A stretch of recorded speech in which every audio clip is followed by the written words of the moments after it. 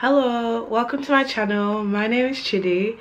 Um, I'm a first year fashion marketing student and today I'm going to be talking about my consumer behaviour, specifically when it comes to buying beauty products.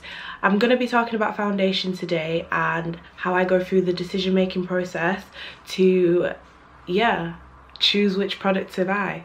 So. so today I'm talking about foundation and this is a type of beauty product that you use like at the start of your makeup. It's basically the base layer. It evens out your skin and it creates like a blank canvas for you to work on. I tend to use a bottle of foundation for two years maybe. So yeah, it's an infrequent buy for me and it also means that I have quite a large commitment to it.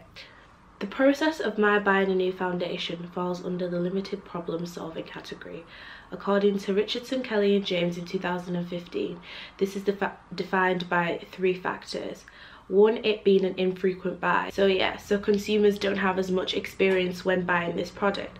The second factor being it has a limited risk longer commitment. So there's a process that consumers go through before acquiring a product. It's called a decision making process and according to Gosnay and Richardson in 2011 there's six distinct stages.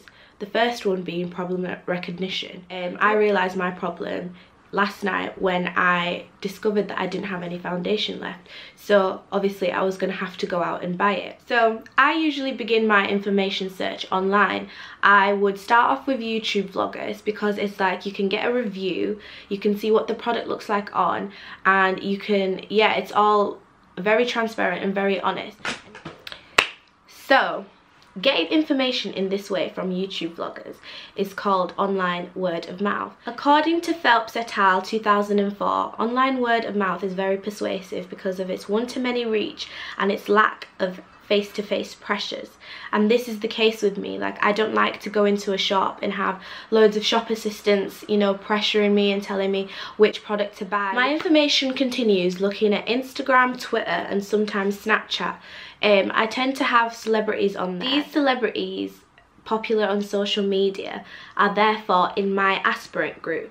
It's been said that people can be inspired and motivated to buy products because of members in their aspirant group. Lockwood and Kunda in 1990. And I can attest to that because I will more likely look at Giorgio Armani because it's been tried and tested and also endorsed by Kim Kardashian and Kendall Jenner.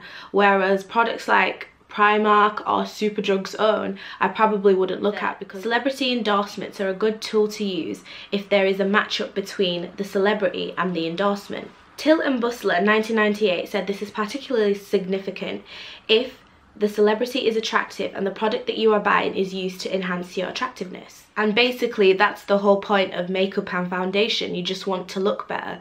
So if I see a celebrity like Rihanna endorsing a product, then being of that point of attractiveness, I would also want to buy this product because it makes sense. So the next step I'm going to talk about is information evaluation. So there's a few criteria that my product has to fit for me to want to buy it. These are called cut-off. Examples of these cut-offs are price, distance, and usability. So in terms of price, if a product for me is between £5 maybe the minimum and £40 maximum yes I want to get that product so I've looked at loads of different brands um, Tom Ford, Estee Lauder, Fenty, Maybelline and I've weighed up the negatives and positives of each of these products. So now I'm at the fourth stage of the process. This is the purchase decision stage. I have selected the product that fits me best the most budget friendly option and the one that's within my cutoff for distance is Maybelline Fit Me Foundation. There's also the added factor that I've bought it before and I've liked it. According to Jespin in 2006, prior information plays a massive part in why anyone buys a product. So the fifth stage of the decision making process is purchase decision slash behavior. So what I'm going to do as a result of choosing my product. And so yeah, I went to buy it. So lastly, the sixth stage is called post purchase evaluation. This is where after you buy the product, you kind of go back and look at, you know, was it the right choice? Would you buy it again? And I think I would buy it again because after buying this product, I'm experiencing a lot of cognitive consonance.